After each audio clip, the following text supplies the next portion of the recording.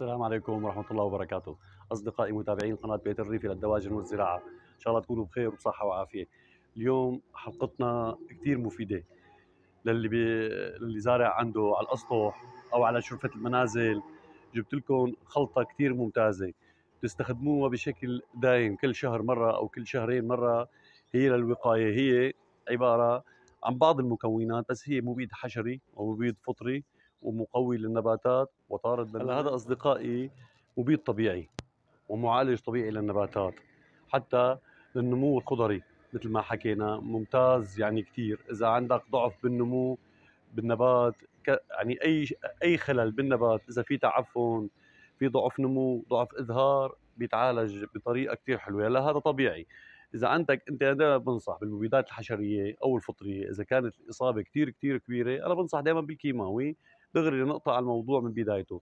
ولكن يعني إذا إصابة متوسطة أو أقل من الوسط ما في أحسن منها ودائما لو ما عندك إصابة إذا بتستعمل هي الطريقة هي البخاخة بتعبيها وبتخليها عندك بالبيت مع جنب كل شهر بتستخدمها مرة أو كل شهر ونص بتستخدمها مرة للنباتات ما بتعتاز نهائيا لأي مبيدات كيماوية يعني هي الطريقة إذا استخدمناها بشكل دوري ما بنعتاز لأي مبيدات نهائيا.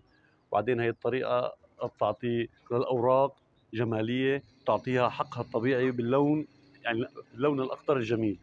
أصدقائي شو هي المكونات؟ هلأ كل المكونات بشرح لكم أنا شو هي بس ما حاسن نطول عليكم المقطع مشان ما تتضايقوا مني. هلأ هذا فلفل حار مطحون.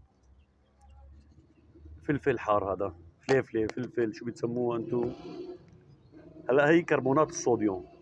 هي كربونات الصوديوم. وهي قرفة. وهذا خل اصطناعي وهون عندنا مسحوق غسيل بودرة. مسحوق الغسيل بودرة. هلا حاعطيكم موجز عنهم شو هن شو فوائدهم. هلا الخل هلا الخل مساعد لطرد الحشرات الفطرية لعلاج الأمراض الفطرية وطرد الحشرات الطفيلية. بيساعدها وبيقوي التربة. إذا التربة ناقصة حموضة عم بعطيكم إنه شو بيفيد كمان للتربة. إذا إذا ناقصة الحموضة بيرفع لها حموضتها. بالنسبة للفلفل الحار بيطرد هذا النمل وبيطرد الحشرات الطفيلية وبالنسبة لكربونات الصوديوم بيطرد آه، اسمه المرض الفطري.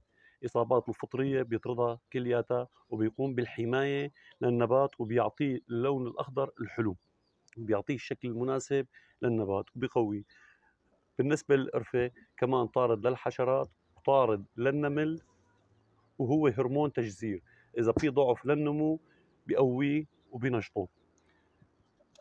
آه، بودرة الغسيل هي مشان إذا كان في موجود مثل التصمغات من حشرة المن على الأغصان بيقوم بإزالتها نهائيا مشان الأغصان والأوراق تأخذ راحتها. أحبابي هلا المكونات. لكأسين ماء من هذا القياس؟ كأسين ماء هي المكونات. ناخذ عيدان قرفة. ما يقارب تقريبا فينا نقول 25 جرام يعني هدول بهالحجم هذا. شايفين؟ هدول بهالكمية هي. ناخذ معلقة طعام كربونات الصوديوم ملعقه واحدة كربونات الصوديوم فلفل حار ناخذ ملعقه كاملة كمان. هذا فلفل حار حاد حاد يعني شطه إحنا بنسميه شطه بس هذا فلفل شغل إيدي شغل البستان عندي. أنا باخذ الفليفلة من اللي زارعها بيبسها بسويها منه وهذا خل اصطناعي. بنحط ما يقارب ثلاث معالق. شوفوا التفاعل اللي صار كربونات الصوديوم مع الخل. شوفوا التفاعل اللي بصير. ثلاث معالق شايفين؟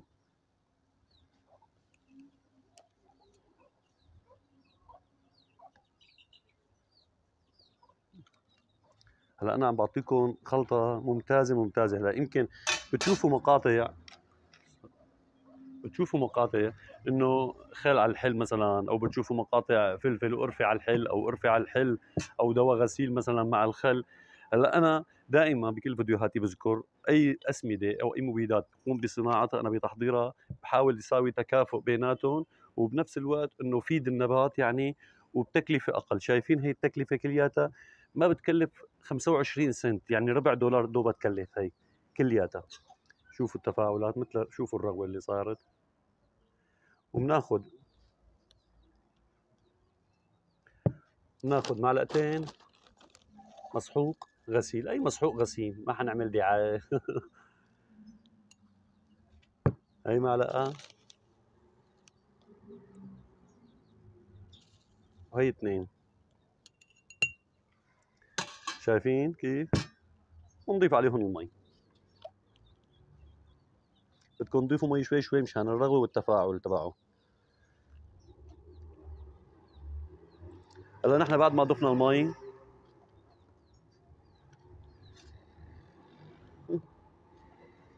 بنحركهم وبنتركهم يتخمروا لتاني يوم. هلا بنقوم تصفايتهم بهذا الشكل. لازم يتخمر. أقل شيء أقل شيء يتخمر. ما يقارب 12 ساعة. يعني سويتهم أنت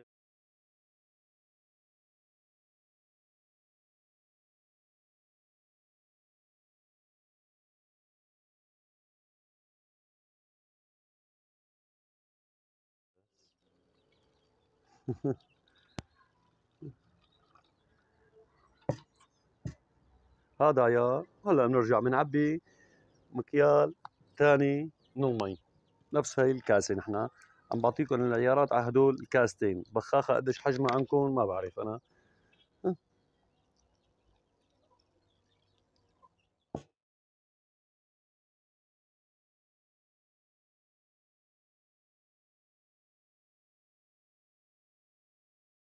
التخمير التخمير مع المواد بده يكون. التخمير مع المواد. بس أنا ورجيتكم العيار قديش هو بيطلع. هو التخمير بده يكون مع المواد. لثاني يوم تا... أو 12 ساعة و24 ساعة بنرجع بنصفيهم بنحط بعد ما جهزنا المكونات وصارت عنا. هي بإمكانك تحتفظ فيها لايمتى ما كان. ما بيأثر يعني أسبوع أسبوعين ما بيأثر إذا عندك الخليط جاهز. كيف طريقة الاستعمال؟ لنفترض هي نبتين عندي هي السجادة هي من ثلاث أيام زرعتها أنا. ببخها بهالشكل الشكل شايفين؟ بهالشكل بخينا ومن بنبخ وجه التربة مشان إذا في عندك نمل في حشرات كله بيروح كله بيروح شايفين؟ بهالطريقة بنرشها وبالذات هاي للنباتات الصالونية للي بيمسحوا مثل الكوشوك للي بيمسحوا الأوراق تبعه هي ممتاز بإمكانك تبخ وتمسح الورق تبع النباتات الظليلية الصالونية. طريقة الرش تبعها مثل ما حكيت هلأ أنا بالشهر أو بالشهر ونص تستخدمها أنت. إذا نباتك سليم أنت استخدمها كل شهر ونص أو كل شهر أو كل شهرين. أنت حر على حسب أنت عندك درجة الحرارة أو أو نسبة الخطورة عندك المهددة بإصابات مثلا النباتات أو إذا أنت محافظ عليهم بشكل كبير. المهم أقل شيء بس بدك كل شهر لازم. أقل من هيك مؤذي بصير. كل شهر بترشها مرتين. اليوم رشينا ثاني يوم ما بنرش ثالث يوم بنرش يعني بنريح يوم وبنرش وبعدين بنريح يوم وبنرش المرة الثانية. هذا للوقائي ما في منه. تستغني عن المبيدات الكيماوية كلياتها وبإذن الله مثل ما عم نحكي إذا عندك الورق ضعيف بيعطيه نضارة بيعطيه لون جميل بيعطيه نمو. أنا وكل قد كل مادة شرحت لكم شو فائدتها.